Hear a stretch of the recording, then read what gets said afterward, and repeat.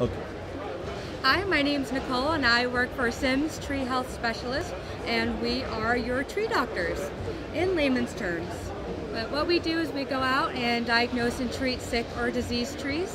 Um, we'll give you reports on what's going on with them, maybe provide some prescription treatments, some injections or any tree spraying that we do, we can help you out there. Um, we also fund a uh, six acre botanical garden uh, where it's also our research center. It's called Sims Tree Learning Center. We provide classes on it, as including our Insects 101 and our TLC Wildlife Aware class that's coming up. And that's, and we have our insect collection. And you right guys here. provide injections for trees? Yes, we do. Yes, what kind of do. injections? Uh, we could do soil injections or trunk injections. So it just depends on what's wrong with the tree, and your arborist will go over kind of what's the best plan of action to treat whatever is going on with your tree. For and insects or just for insects? It can be for insect pests, it can be for diseases, any fatal diseases, or even some protection treatments. There's so many things out there that you you know you want to keep your trees protected and, and keep them healthy because you know that's what keeps them looking good and keeps them valuable. For fruit trees too, or any any type of tree? all trees, all trees. For fruit trees, evergreen trees, deciduous trees, tall trees, little trees, even little weeds if you want some. Can you tell me a little bit about your insect collection here? Yeah, the insect collection is by our master arborist Susan Sims, and this is what she's collected throughout her her years. We have one dedicated just for tree pests. Um, most are local here. Most are from Southern California. Kind of here and there, a few from out of state, but Can most you of them local. a few of your insects?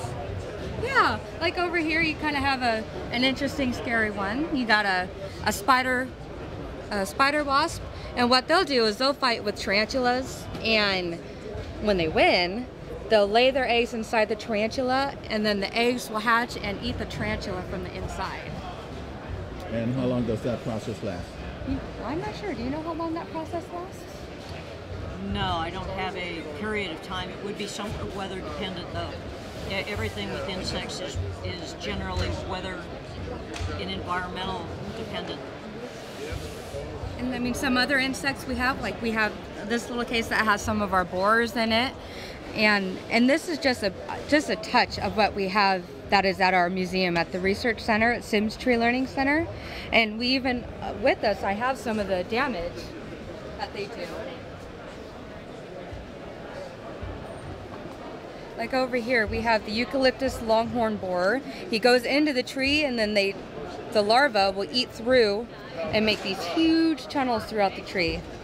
And unfortunately, this can be a fatal pest for the tree. So we want to make sure to protect your trees and to get them treated as soon as you see any signs of, of holes on the outside. You definitely want to get What that taken care of. What indications, uh, what sort of symptoms will a tree show besides the holes uh, that they're being attacked by that type of boar?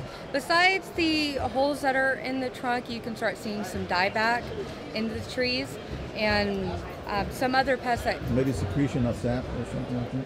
occasionally, yeah, because it's usually a defense system when there's sap coming out of the tree. You know, they're trying to push out the insects. So that's definitely an uh, Some other samples here we have, unfortunately, a kind of a common mistake that we have with some, you know, unexperienced uh, landscapers is that, you know, they leave the ties around the trees and they don't, they don't remember to come back and get them. And then unfortunately the ties, the tree grows around the ties. And, you know, once it's too deep in there, you really can't take it out without damaging the tree. So, you know, we try to, to remind people to make sure that they remember to take the, the tree ties off.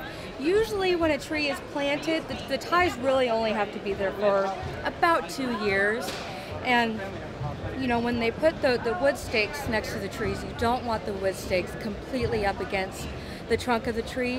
When they're up against the trunk, it prevents the tree from be, being able to build up wind resistance. So, you know, you want to make sure you're checking up on your ties, that your stakes are not right up against the trunk. And that'll be best for about two years, and then you can take them off. Um, some other samples we have, we have some fungus samples. Right here we have what is called Ganoderma. That is our, it's a wood decaying fungus. Usually when you see this on the tree, it's not a good sign. It means that there's decay going on inside the tree. And usually it's not very much that you can do once you see that. Except, you know, prolong the life of the tree once you see that. And then over here we have our collection, just a small collection of circling and girdling roots. Usually the results of, you know, when people grow trees in containers and they don't transplant them soon enough, the roots will start growing around and around. And you know, roots they'll grow the whole time that a tree is alive. And if they're grown in a circle, they're eventually going to keep growing around and around and unfortunately choke the tree and prevent it from getting the nutrients that it needs. And usually once it gets to that point, there's really not much you can do. Because um, even if you were to cut huge roots, it's really not good to cut huge roots that are, try not to cut them over two inches in diameter.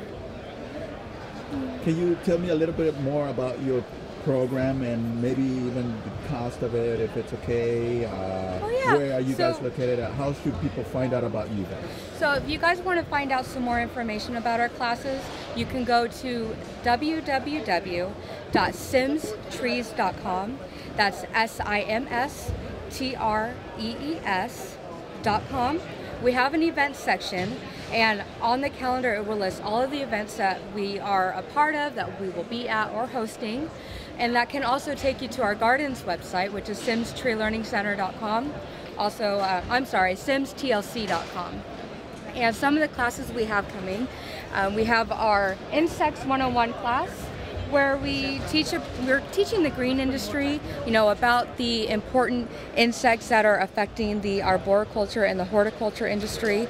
So we'll teach you what what which ones they are, the basics of them, identification, uh, disease control, vector control, any of that kind of stuff. We go over the basics of that. We also started a program. Um, it's called the TLC Wildlife Aware Program. We started noticing that people, especially with cell phones, you know, birders, preservationists will start um, videotaping tree trimmers, you know, without their knowledge. And the tree trimmers really don't know that they could be violating these laws they didn't know exist that protect the wildlife that live in these trees. Fish and game don't really care if you don't know that these laws exist.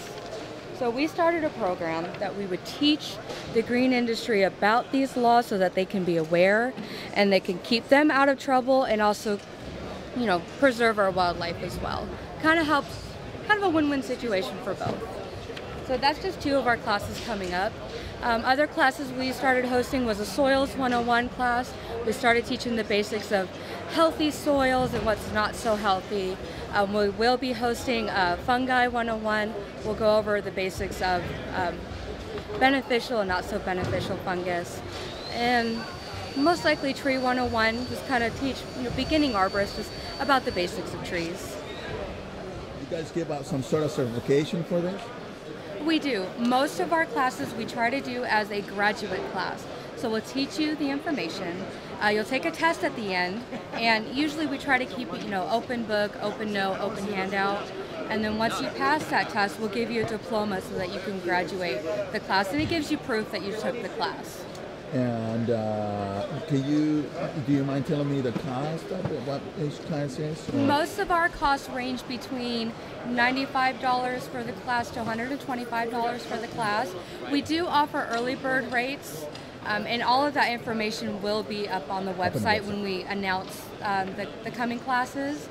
And it, it's an, usually an all-day class, usually between we try to do about four to six CEUs for ISA, DPR, um, IUFC, all, all the main uh, green industry organizations that offer CEUs. We try to cover all the basic topics. Okay.